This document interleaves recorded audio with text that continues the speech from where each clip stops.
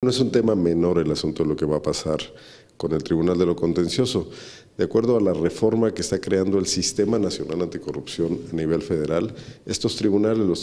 tribunales administrativos de los estados, serán responsables de sancionar a los servidores públicos que incurran en actos de corrupción con las reformas constitucionales, las Contralorías Municipales, la Contraloría Estatal, que en Guanajuato se llama Secretaría de la Transparencia y Rendición de Cuentas, dejarán de ser las responsables de sancionar a los servidores públicos, que de todas formas no crea que lo, hayan, lo han hecho con mucho entusiasmo.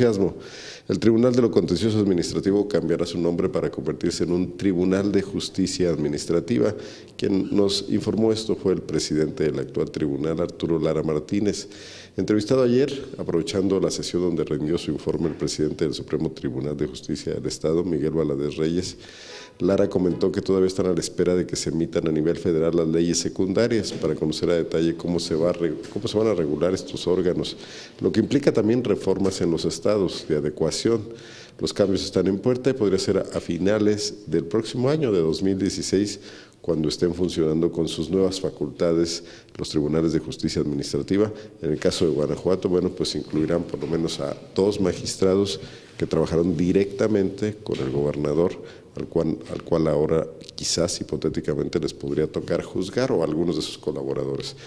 Lo que dijo el magistrado Arturo Lara el día de ayer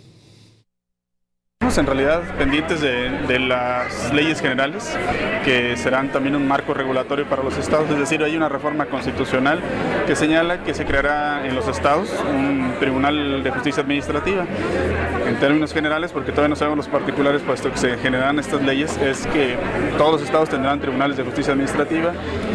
Ese será, digamos, un cambio de nombre, pero hay una ampliación de competencias. El tribunal ahora será el encargado de dictar las resoluciones de sanción a los servidores públicos tanto estatales como municipales, que cometan actos de corrupción o actos